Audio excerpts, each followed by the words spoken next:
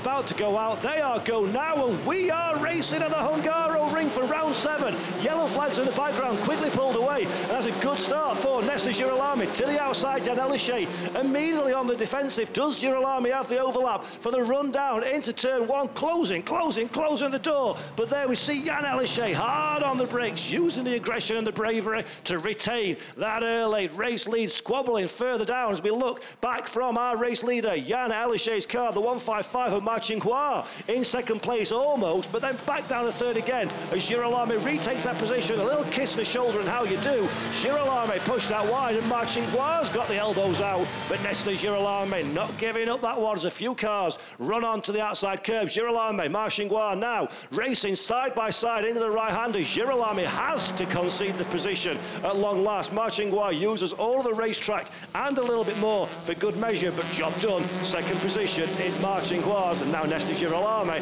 has more than his fair share of work to do to get back on terms with car number 155. Mikel Azcona making a good start as well in fourth position. Norbert Michelisz dropped all the way down into seventh place. This is on board with Girolami now as we come through the stake in the middle of the lap later on. Let's look back now at Yann Ehrlacher. Look how quickly he covers the line there, you see. Girolami almost into the rear of the French driver's car. Davanti. E questo. This is from Frédéric Vervisch's view as we see again Ma and Girolami side by side. Azcona also interested. Girolami doing one way, then the next. Doesn't find a way past the Lynk & Co. all the way around the outside. That's not going to work, Sunshine. And Mikel Azcona keeping a watching brief in the background. Fancies his opportunity to buy into this one, but all of the pressure is applied to Mar now in second position. Girolami in third place, watching, waiting. Mikel Azcona in the Hyundai trying to find a way to get on terms as well, while Yann Ehrlacher at the front of the field serenely goes about the business of taking and extending his race lead. Little look from Girolami there, further down the running order. That is Victor Anderson on Dusan Borkovic as they go side by side. That opens the door for the Conti Audi to try and find a way past as well. Borkovic has to revert to the runoff area, but gets back on to the racetrack just about. One place gained for Victor Anderson. Now fancies another place as well. That's John Filippi, the man that's left out to dry on the bright orange Lynk & Co car. Dust been kicked up at the fourth round of your shot as everybody's using all of the track and more side by side still for Filippi and Victor Anderson. Anderson now will have the inside line in the MAGP machine. Filippi trying to tough it out around the outside. Dusan Borkovic makes it three wide in contact. Dusan Borkovic, there we go. That is Victor Anderson's car. Borkovic now turned around as well. Dusan Borkovic and Victor Anderson come together. So let's look again there. Anderson and Borkovic side by side. Not quite sure. That's a big hit for Victor Anderson. Nestor Girolami on the inside. Nestor Girolami, the last of the late breakers, do or die. Takes second position away. Ma Qinghua pushed out wide. That opens the door now for Mikel Azcona around the outside. Mikel Azcona, can he get one? Can he get two? This is fantastic racing. Azcona gets the deal done and now he's immediately on the charge for Nestor Girolami. A change at the front of the field. Great driving from these three and the podium is anybody's at this stage. Azcona half defensive, half attacking to the inside of the road. Ma Qinghua does not know what's happened. Two cars in one corner, some aggressive driving. Volt out of the slipstream of John Filippi further ahead, but Ceccon not quite close enough on this occasion as Dusan Borkovic decides I'm not close enough, but I don't care. I'm going to go for it anyway, and that is a pass. Dusan Borkovic past Michael Carlson. Carlson on the retaliation, does not want to give this one up, but Carlson will be to the outside. Borkovic will have the inside line and the advantage. The two Hyundais side by side now. Borkovic will run Carlson out of road on corner exit. There we go. Give each other racing room. Well done, Michael, Car Michael Carlson.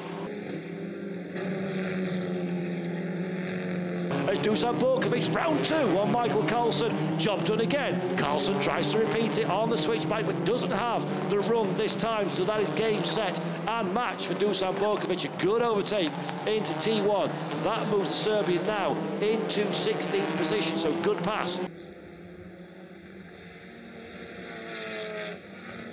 Now he's looking to make amends for that one. The car's back in the comfort zone, but Victor Davidovski fancies his chances. Little nibble to the rear of the Honda from Davidovski, and now to the inside. Victor Davidovski, last of the late breakers, really late move to the inside through the penultimate corner, side by side with Ruben Volt. A little kiss between the two drivers as well for good measure. Davidovski to the outside line, not where you need to be. That allows the aggressive Team Italia car and Kevin Ceccon to buy into this one. And Davidovski, from man of the moment to absolute disaster, doesn't gain a position but loses one.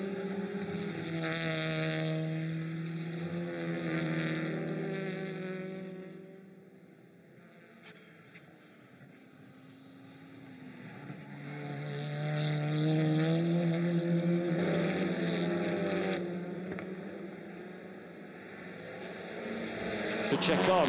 Can he get back in terms with him? Can Davidovski stay with them and make that a three-way battle for 13th on down? As we're looking now a little bit further up the running order, that is Ruben Volto saying didn't have the pace.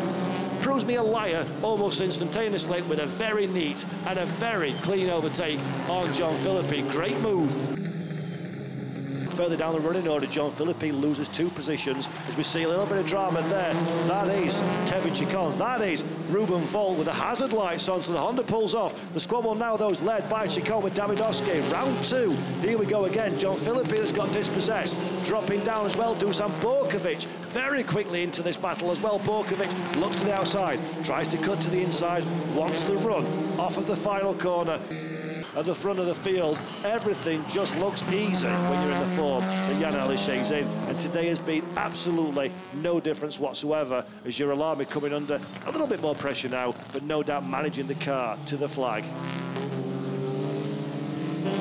So here we go then. Yann Ehrlacher through the final corner. Nestor Girolami, Mikel Azcona behind as well. This has been the seventh round of the Kumho TCR World Tour and TCR Europe. Yann Ehrlacher with the checkered flag takes the victory for Cyan Rich Lynk & Co. Second place is Bebu Girolami and Mikel Azcona rounds out the podium finishers in what has been a superb, superb bit of racing at the front of the field. Fourth position goes to Marcin Gloire just after the race will be a very satisfying end result for the French driver and very much gets him on form. Thank you very much. Looks to the skies and to the crowd. Thumbs up and cheer. Big applause from the crowd here. And the winner, Yann Ehrlacher, the biggest cheer, is awarded to our race winner. Great performance as well from the team.